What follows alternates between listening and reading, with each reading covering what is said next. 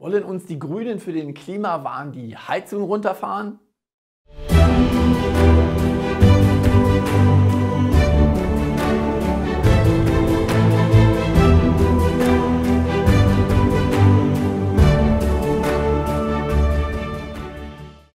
Meine Damen und Herren, liebe Freunde, derzeit erleben wir eine Krise nach der anderen. Zur Erinnerung, in der Vergangenheit wurden in keinem anderen Land so viele Wirtschaftsflüchtlinge aufgenommen wie in Deutschland.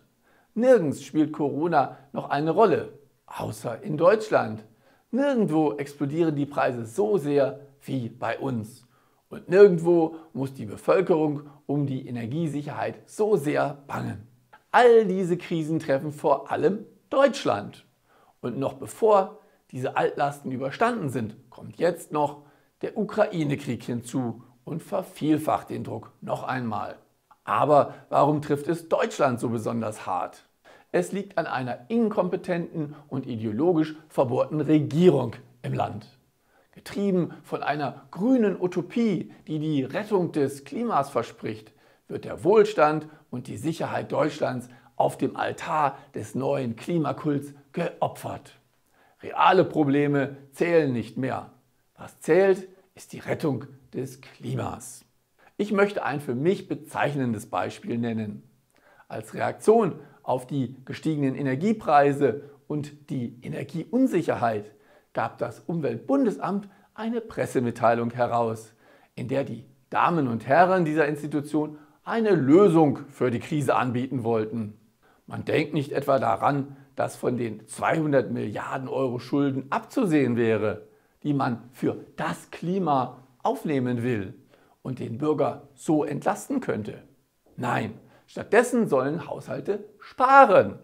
Die Menschen sollen einfach die Wohnungen um zwei Grad weniger beheizen und man solle einfach einen wassersparenden Duschkopf einbauen. Logisch, oder? Aber es geht noch weiter. Laut der Mitteilung wird auch die Einführung eines Tempolimits gefordert. So könnte man 5,3 Millionen Tonnen CO2-Äquivalente einsparen. Äh, Moment mal, was hat das jetzt mit CO2 zu tun? Es ging doch eigentlich um Energiesicherheit und zu hohe Preise. Bezeichnend, nicht wahr? Da hat wohl irgendjemand in Wirklichkeit gar kein Interesse an der Entlastung der Bürger. Diesen Leuten sind die Sorgen und Nöte der Bürger nämlich völlig egal. Was für diese Leute zählt, ist Klima, Klima und nochmals Klima. Wie dreist muss man obendrein sein, in solchen Zeiten ernsthaft solche Vorschläge zu machen? Es ist typisch für die Grünen. Menschen zählen nichts in deren Vorstellung. Es geht einzig und allein um deren Gottheit, das Klima. Aus dem Bayerischen Landtag, ihr und euer Ingo Hahn.